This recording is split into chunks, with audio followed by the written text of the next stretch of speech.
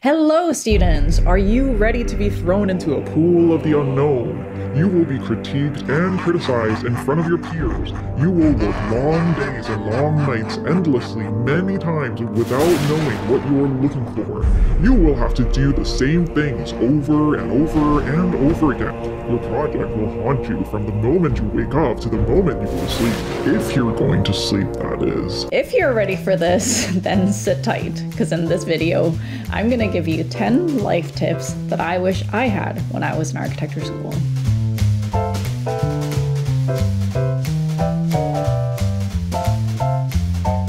Just over 10 years ago, when I was just 18 years old, I decided to make the biggest investment of my life and applied for architecture school. I spent about $70,000 and six years of my life drawing, sketching, getting criticized for my work, and falling asleep in the computer lab. It's kind of crazy when you think about it.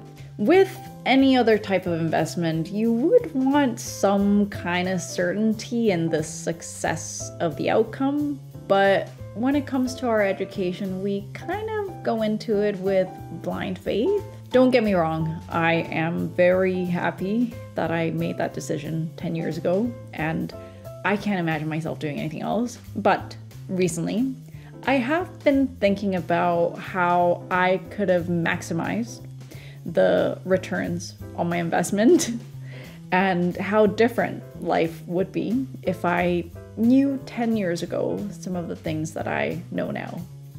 So, in this video, I want to talk about 10 things I wish I knew or thought about before starting architecture school. Focus on building meta skills as well as your hard skills. So, I remember this one time I was working on a project with a classmate and I was just really frustrated because I felt like he was not really contributing on the design and I just felt like he wasn't really pulling his weight. I'm sure you are also gonna come across a situation like this because there are a lot of group projects and everyone kind of has different standards and everyone has different ways of working, you know, and some people are just not that great to work with. But when you leave school and work in an office, this is something that principals or project architects have to do every day. You know, they need to teach young interns, they need to explain things to clients and consultants. And every day we're solving problems that are not just design related, but people related. So these kind of unfortunate but inevitable group situations are kind of the perfect opportunity for you to practice how to communicate and also how to inspire people and how to explain things. And I think these are all skills that are gonna become very helpful down the road. Develop a skill that you can monetize. When I finished architecture school, I had around $50,000 in student loans, and my starting intern salary was $50,000. So, my mindset was to do everything and anything possible to pay this back as fast as possible. So, I started looking at like looking for side work. Like, I knew how to draft, I knew how to do renders, I knew how to take photographs. So I told all my coworkers and everyone I knew that if they ever needed any of these things, I could do it for a really, really good price. And so I started getting some work here and there. But what I didn't realize is that the work would take way more time than I had anticipated because I wasn't actually that good at any of them compared to a professional. I also didn't know how to charge properly to compensate for my time. So it actually took me um, a couple tries to get to a level where I could actually like offer my services professionally for a decent fee. If you are someone who wants to offer some side services, check out places like Upwork and Fiverr and see what level of competence is out there and how much you can charge for them. Something else that I learned is that you should try to get into the habit of setting your own price and asking what you think you're worth. Obviously, do the research, but one of the things that I realize makes a really big difference in your fee, surprisingly, is not necessarily the um, the quality of the work, but it's actually the quality of the service. So if you are able to communicate with your clients really well, give them timely responses and feedback, you'll get great reviews and you can charge a lot more. This is especially prevalent now where you have people charging like literally $5 for a rendering. So I think the communication and the service actually makes a really big difference. And I was actually pretty surprised about this too. There's just so many ways for you to make money these days that's not tied to your job. And architecture school is a really great place for you to explore some of those skills but it's your job to make it specific and unique enough for it to be marketable. Grades don't really matter. This might kind of come as a surprise, but unless you're applying for scholarships or awards, grades don't really matter in architecture school as long as you pass everything. I used to get so mad about getting a B because um, Asian. But uh, I realized after graduating that people just really look at your portfolio and nobody really cares that you got a C in structures. And maybe this is kind of a contentious argument because, of course, like you want to do your best work. But if I knew this in architecture school, I feel like I would have done a couple things differently. For example, if it came down to sitting down and like really understanding something versus finishing an assignment on time, but like really fast for a deadline. So you gather your friends and you pull your resources. I would have chosen to sit down and like really understand the problem and the solution, even if it meant getting a lower grade in the assignment. You always think that you're gonna come back to it and go over it later, but you rarely do. So if I actually knew that starting out, I think my strategy for school would have been a little bit different iterate and document the process. Design is an iterative process, so don't be one of those people who falls in love with their first idea. Really good designers are able to iterate through different options and change their design drastically really quickly. Your design is going to change as you try different options, and you might circle around and come back to your initial idea. But because of this, it's so, so, so, so important for you to document the process. Sometimes it's not about the idea, but the process and how you got to that final point. And I've also mentioned this in my How to Create an Architecture Portfolio video that, in fact, the thought process is what firms are more interested in seeing, not really beautiful renderings, because beautiful renderings are so common these days. Understand the law of diminishing returns. Just because design is an iterative process, it doesn't mean that you should work on your project without any time constraints. And I think the law of diminishing returns is just as applicable in design. And if you don't know what it is, it's an economic theory that tells us that after a certain point, you will have reached an optimal level of capacity, and adding any additional inputs will actually reduce the returns on the inputs. So, this over here is you right in the morning or right after a coffee break. You're pumping out your drawings and iterations and Um, here, maybe you go and have dinner and it's starting to get late and it's 3 a.m. and you can't remember what you've been working on for the past hour. Your computer's starting to crash and you're forgetting where you saved your file. I've been there and I remember it like yesterday. Try to understand your peak times and when you're the most effective. I think everyone kind of has a time when they're the most effective, and everyone also has a time when they're the most creative. When I was doing my master's, I realized that I was a better writer in the mornings and that I could come up with more interesting design solutions in the evenings.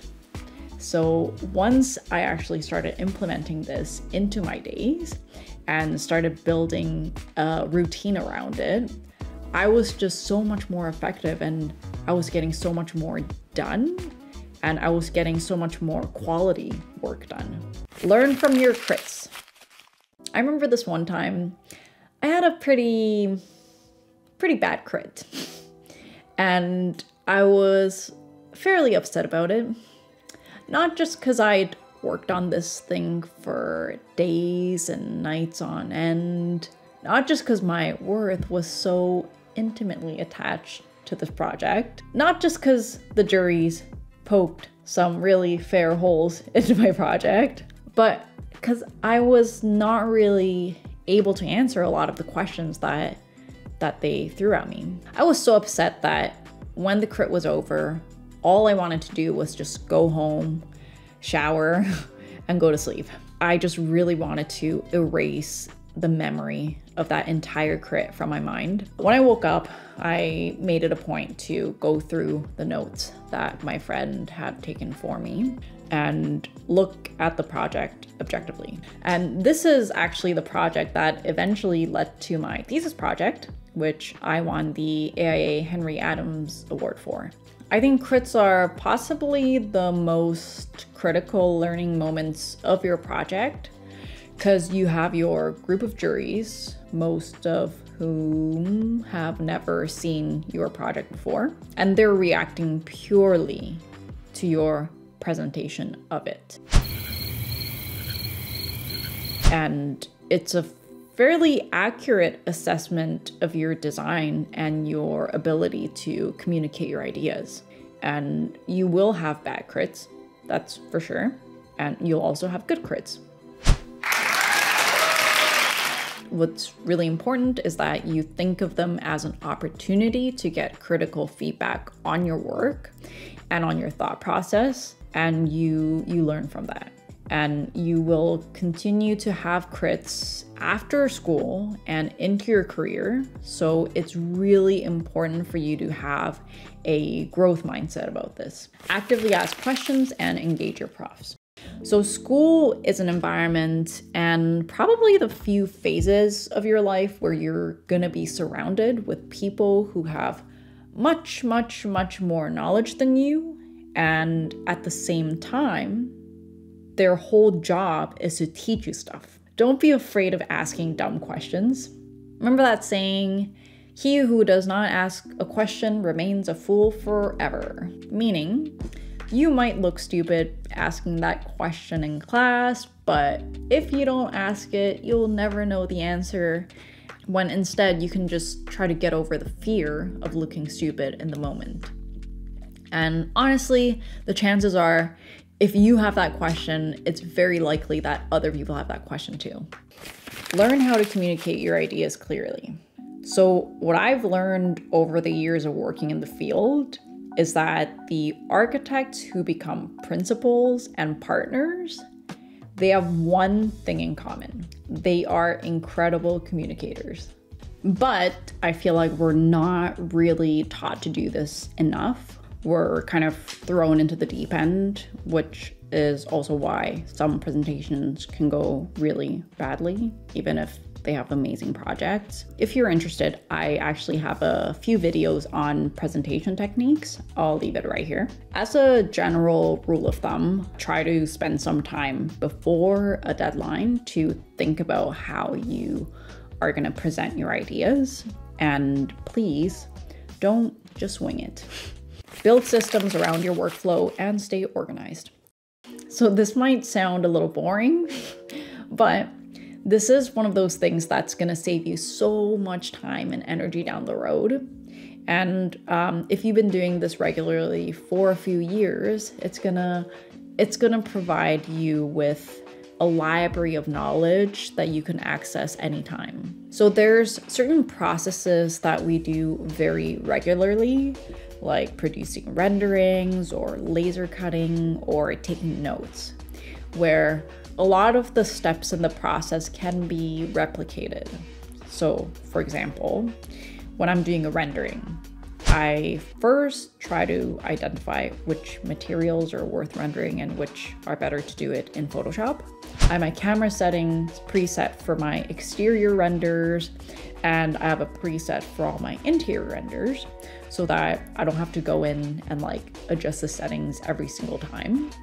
And in post production, I have all my people and materials saved in a folder and all the people are divided into different folders based on what they're doing. I always try to save them in the same spot every single time. I think one of my biggest regrets in life is that I didn't start taking proper notes at an earlier age. I would write things down in my notebook and when I ran out of pages, I would just get a new notebook and eventually forget about the thing that I'd learned and written down. So now I track everything, all of the new information that I learned into Notion, into separate categories, so that I can look it up later. Because if there's one thing that life has taught me, it is that you should never trust your brain to store information. Of course, there are certain things that cannot be turned into a system or are not worth turning into a system. But I think it's very important to kind of always have this mindset. Build good relationships.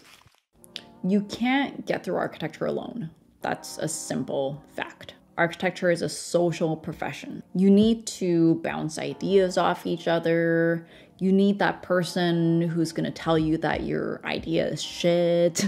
You need that person to go on late night snack runs with you. You need that person that you can complain to about your profs. If you're working in studio, you will naturally kind of develop these relationships because studio is kind of this like crazy magical environment that's very hard to replicate anywhere else. So that's a part of what you're paying for when you go to architecture school. There's all these people working on their own projects, like drawing, cutting, gluing, and putting things together and taking them apart. I can't even recount how many times I've had like breakthrough moments in the studio. Architecture is also a very small community compared to other fields that once you get into the workforce, a lot of people know each other um, or is once removed. Your friends in school are going to be the people that you're going to enter the workforce with you. So eventually, um, they are going to become your professional network. And, you know, there's no better way to tell if um, somebody's going to be a good coworker than like doing a project with them um, or working through those late nights in studios together. You'll you'll know exactly what that person looks like when they're sleeping yes. on their desk. Yes. you'll you'll know what they smell like when they have really bad BO. and you'll know all of their poor eating habits. Yes. And I still have friends from architecture school from like 10 years ago that I would vouch for because I know their work ethic and I know that they're going to be a good fit at any firm. So, although in this video I try to focus on maximizing the returns on your investment in time and energy, the most important thing you will actually get out of architecture school is not really something you can buy with any amount of money. Things like lifelong bonds and memories and like appreciation for beauty and like a life changing experience that you won't be able to get anywhere else. It's not going to be easy or fast, but It's gonna teach you perseverance, amazing work ethic. It's gonna teach you to trust in your own abilities. You learn to work day and night. Mm-hmm. Yeah. You learn how to work, work, work. yeah. Mm-hmm. Hello, darkness, my old friend. I've come to talk with you again. If you are just about to start architecture school, or maybe you're already a few years in, um, I'd love to hear which of these things resonate with you. And if you are an old fart like me and you've already graduated, are there things that you wish you thought about before you started architecture school uh, that you could share with the rest of us? Let me know down in the comments below.